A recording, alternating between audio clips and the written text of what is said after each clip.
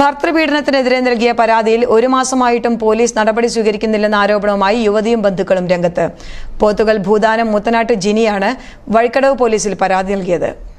പോത്തുകല്ല ഭൂധാന മുഞ്ഞനാട്ട് ഡെയ്സമ്മയുടെ മകൾ ജിനി വഴിക്കടവ് പൂവത്തിപ്പൊയിൽ സ്വദേശിയായ ഭർത്താവിനെതിരെ ഡിസംബർ ഇരുപതിന് വഴിക്കടവ് പോലീസ് സ്റ്റേഷനിൽ പരാതി നൽകിയിരുന്നു. മദ്യപിച്ചെത്തുന്ന ഭർത്താവ് തന്നെയും മക്കളെയും ശാരീരികവും മാനസികവുമായി പതിവായി മർദ്ദിക്കുന്നുവെന്നാണ് പരാതിയിൽ പറഞ്ഞിരുന്നത്. ഭർത്താവിന്റെ വീട്ടിൽ നിന്നും രക്ഷപ്പെട്ട ജിനി അമ്മയുടെ കൂടെ വയനാട് അമ്പലവയലിൽ വാടകയ്ക്കാണ് ഇപ്പോൾ താമസിക്കുന്നത്. താൻ നൽകിയ പരാതിയിൽ അന്വേഷണ പുരോഗതി അറിയാൻ സ്റ്റേഷനിൽ ബന്ധപ്പെട്ടപ്പോൾ വീണ്ടും സ്റ്റേഷനിൽ ഹാജരായി മൊഴി നൽകണമെന്നായിരുന്നു മറുപടി ലഭിച്ചത്. ഇതനുസരിച്ച് ജിനിയും മക്കളും മാതാവിനൊപ്പം വ്യാഴാഴ്ച വഴിക്കടവ് സ്റ്റേഷനിലെത്തിയിരുന്നു. എന്നാൽ നൽകിയ പരാതിയുടെ രേഖകൾ കാണാനില്ലെന്നും പുതിയതായി പരാതി നൽകണമെന്നും പോലീസ് അറിയിച്ചതായി ഇവർ പറഞ്ഞു. ആവശ്യപ്പെട്ടത്. അതിന്റെ അടിസ്ഥാനത്തിൽ ഇവരുടെ മൊഴി എടുക്കുകയും കേസെടുക്കുമെന്ന് സമ്മതിക്കുകയും ചെയ്തു. നമ്മൾ റെസീറ്റ് ആവശ്യപ്പെട്ടപ്പോൾ ഒരു കുറച്ച് ദിവസം കഴിഞ്ഞിട്ട് കേസെടുക്കും എഫ് ഐ ആറിന്റെ കോപ്പി തരാമെന്ന് പറഞ്ഞ് ഞങ്ങളവിടെ നിന്ന് പറഞ്ഞു വിടുകയും ചെയ്തു. ഇതിനുശേഷം ഒരു മാസം പിന്നിട്ടും ഇതിന്റെ ഒരു തുടർ നടപടിയും പോലീസ് എടുത്തിട്ടില്ല. കഴിഞ്ഞ പത്തൊമ്പതാം തീയതി വീണ്ടും ഈ സ്റ്റേഷനിൽ എന്റെ ഒരു സുഹൃത്ത് പോലീസുണ്ട്. എ എസ് ഐ ആയിട്ടുള്ള ആളുണ്ട്. അയാളെ വിളിച്ച് ബന്ധപ്പെട്ടപ്പോൾ പിന്നെ കേസെടുക്കും. നിങ്ങളിവരെ വിളിച്ച് കൊണ്ടുവരും.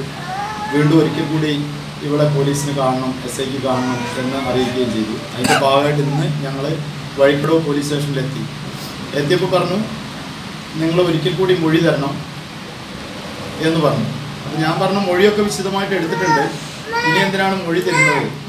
വിശദമായിട്ട് മൊഴി എടുക്കുകയും അത് അത് ബോധ്യപ്പെട്ട് അവളെ സൈൻ ചെയ്ത് ഇവിടെ തന്നിട്ടുണ്ട്. അതുകൊണ്ട് ഇനിയും മൊഴി തരേണ്ട ആവശ്യമില്ല. നിങ്ങൾ കേസെടുക്കും. നിങ്ങൾക്ക് ആ ഇവളോട് സംസാരിക്കാനുണ്ടെങ്കിൽ സംസാരിച്ചാൽ മതിയെന്ന് നമ്മൾ സംസാരിച്ചു അപ്പോൾ ഇത് സ്ഥലം എസ് ഐ സ്ഥലത്തുണ്ടായിരുന്നില്ല. എസ് ഐ ആയിട്ടുള്ള ഒരാളായിരുന്നു മാത്യു എന്ന് പറഞ്ഞ ഒരു പോലീസായിരുന്നു ഉണ്ടായിരുന്നത് അദ്ദേഹം ക്ഷുഭിതനായി സംസാരിക്കുക ചെയ്തത്. നിങ്ങൾ മൊഴി തരാൻ തയ്യാറാകുന്നില്ലെങ്കിൽ കേസെടുക്കാൻ സൗകര്യമില്ല. നിങ്ങൾക്ക് കേസ് വേണമെങ്കിൽ മതി. അങ്ങനെ മൊഴി തരാൻ പറ്റില്ല എന്നുണ്ടെങ്കിൽ നിങ്ങൾ പൊയ്ക്കോ എന്നുള്ള രീതിയിൽ നമ്മളോട് വളരെ അപമര്യാദയോടുകൂടി ഒരുതരം നീതി നിക്ഷേപിക്കുന്ന രീതിയിലാണ് ഞങ്ങളോട് സംസാരിച്ചത്. മാത്രമല്ല ഒരു മാസം മുമ്പ് ഇങ്ങനൊരു പരാതി കൊടുത്തിട്ട് പോലീസിന്റെ ഭാഗത്തു നിന്നും യാതൊരു തുടർ തുടർ നടപടി ഉണ്ടായിട്ടില്ല.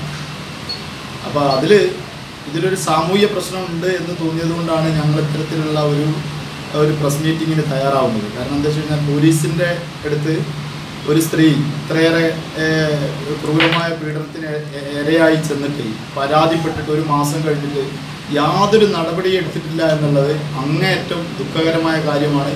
നീതി നിഷേധിക്കുന്നതാണ് പോലീസിന്റെ അലംഭാവം വ്യക്തമാകുന്നുണ്ട് ഇതിന്റെ അതുകൊണ്ട് തന്നെ ഇതൊരു സാമൂഹ്യ പ്രശ്നമാണ്. ഇത്തരത്തിലുള്ള നിലപാടെടുക്കുന്ന പോലീസിനെ നിരക്കി നിർത്തേണ്ടത് ആവശ്യമാണ്. എന്നുള്ള ഒരു ഒരു തോന്നലുള്ളതുകൊണ്ട് ഇതൊരു സാമൂഹ്യ പ്രതിബദ്ധമായ ഒരു ഒരു പ്രതിബദ്ധത ഉള്ള ഒരു വിഷയമാണെന്ന് തോന്നിയതുകൊണ്ടാണ് ഞങ്ങൾ ഇത്തരത്തിലുള്ള വിഷയം ഇവിടെ വന്നത് പോലീസിന്റെ കൃത്യവിലോപത്തിനെതിരെയും സ്ത്രീകളെയും കുട്ടികളെയും നിരന്തരം സ്റ്റേഷനിലേക്ക് നടത്തിക്കുകയും ചെയ്ത നടപടിക്കെതിരെ ഉന്നതാധികൃതർക്ക് പരാതി നൽകുമെന്നും ഇവർ വാർത്താസമ്മേളനത്തിൽ അറിയിച്ചു. News bureau Edakkara.